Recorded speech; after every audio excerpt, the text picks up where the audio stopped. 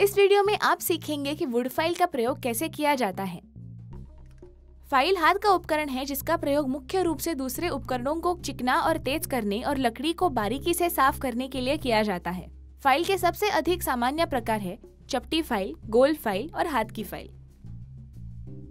File का खुरदरापन इसके काटने के तरीके से निर्धारित होता है। उदाहरण के लिए bastard file second cut file की तुलना में अधिक खुरदरी होती है। जिन उपकरणों की आपको आवश्यकता होगी, वे हैं फ़ाइल, लकड़ी और शिकंजा। फ़ाइल में एक हैंडल और एक दांतेदार स्टील छड़ होती है। यह लगभग मोटी रेती के समान होती है। एक फ़ाइल और एक मोटी रेती के बीच अंतर उनके दाते हैं। फ़ाइल में मूल रूप से दांते जिरियो में आगे पीछे होते हैं, जिससे दांतों की एक समतल सतह बन जाती है। जबकि मोटी रेती में प्रत्येक नुकीला दांत ऊपर की ओर निकला होता है।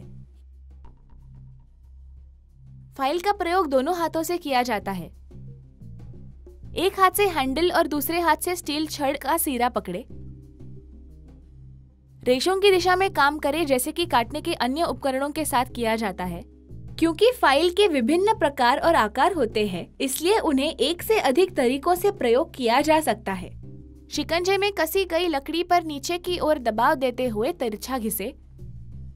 सुनिश्चित करें कि असमान फिनिश से बचने के लिए फ़ाइल पर दबाव एक समान हो। फिर से फ़ाइल को दोनों हाथों से पकड़े। और अब लकड़ी पर फ़ाइल को सीधा रखते हुए और एक ही स्ट्रोक में फ़ाइल को आगे बढ़ाते हुए लकड़ी को फिनिश करें।